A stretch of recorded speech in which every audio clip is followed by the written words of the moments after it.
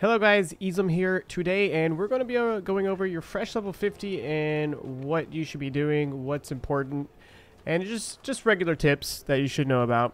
Uh, first off, Nightmare Sigils. Um, before I was like, I'm forgetting something, like literally forgetting, there's got to be more to this. And I had a quest that uh, wanted me to use Nightmare Sigil and I, did, I was like, what the hell is that? What do I do with it? Or how do I get to it?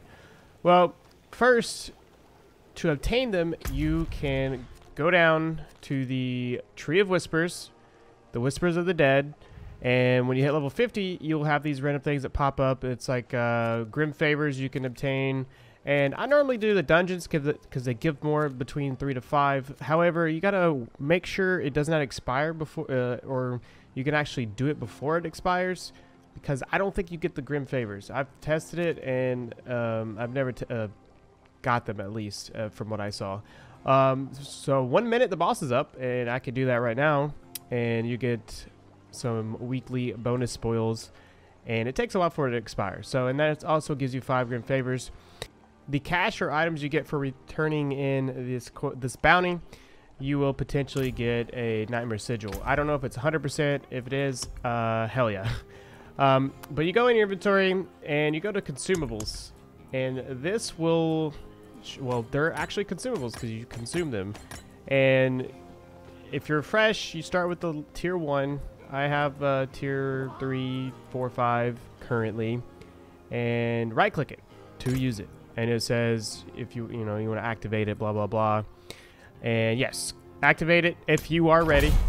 And you will see you have activated a Nightmare Dungeon. If you're in a group, they have to vote to accept uh, whether or not they need to start or they want to start it and it'll show up on your map where it's at. So over here, it says, uh, yep, this is now my Nightmare Dungeon, Tier 3. I just to right click it, I will travel here and run to it. Now, if you're not in a group and you have a Nightmare Dungeon activated and you join a group, it will close it. I, I found that out the hard way and I didn't lose much. I did get an item out of it, I guess for completion, or well, lack of completion, but still it gave me a reward. But if you have not finished it, make sure you finish it if you want to before you join a group. Now the region progress rewards, uh, this is something that I was trying to get to before and I just could not figure it out because I'm not smart as, as most people. But if you hover over any region, it'll the top it basically changes what your uh, progress is in this region. And it also says on the far right of that, W view rewards. So now you can view the rewards. If you change the key bindings, make sure you have the key binding set to an appropriate key that you can change it to or that you use. Um, but yeah, mine's default W and it tells me what I have completed. And this is basically just doing unlocking the waypoints, doing strongholds, side quests, and discovery, just exploration, side dungeons, altars of Lilith. So these are really important because you actually get skill points, your potion capacity, and the Paragon points at the end of each um, at the end of each progress reward. So yeah, this is very important to do, especially for new characters and so on and so forth. Also for your skill points, because free skill points are, you know, amazing to have. Next is gold. Yes, so gold is probably your most important currency. You would think that your materials are important, which they are. I'm not denying they're not. They, they are important, but they're also easy to get, just like gold. And I at the when you're a fresh level 50, you're gonna probably spending a lot of times in dungeons or just doing random things, bounties, uh, but mostly nightmare dungeons and the Helltide. So my biggest advice is to farm gold. Like pick up as uh, at least the rare items. I normally pick up rare items. I don't pick up the blue items, the magic items because they don't sell for much. I just pick up the the rare and legendary. But if you're just farming gold, I'd suggest picking everything up. Even uh, well, everything but the white. I guess the common. But regardless, just I would just pick anything up instead of just second guessing myself of what I should say. And right now I have 5.6 gold, which you think is a lot of gold. It is not. When you get down to the enchanting of your gear and doing all the other stuff, upgrading your gear it is most definitely a big necessity to have abundance of gold. And right now, what I've been doing lately is just farming gold.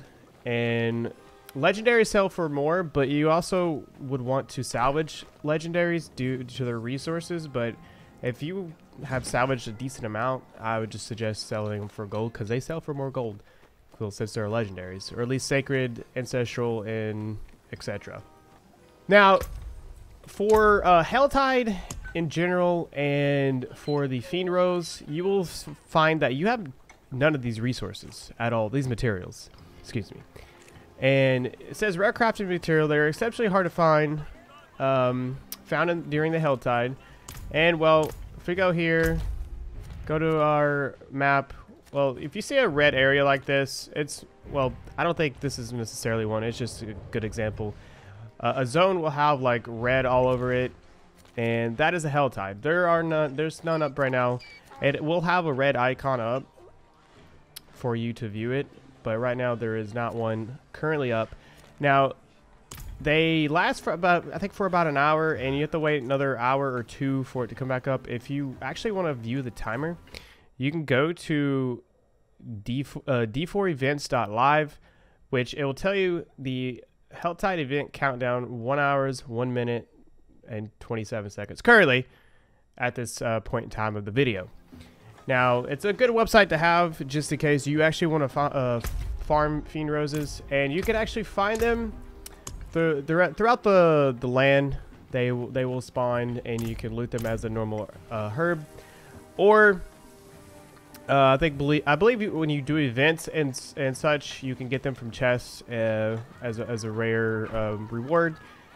But most definitely good to have for upgrading or excuse me, enchanting your gear uh, for those nice, juicy, and lucky rolls, which I have yet to uh, be accustomed, or at least a part of um, currently. So yeah,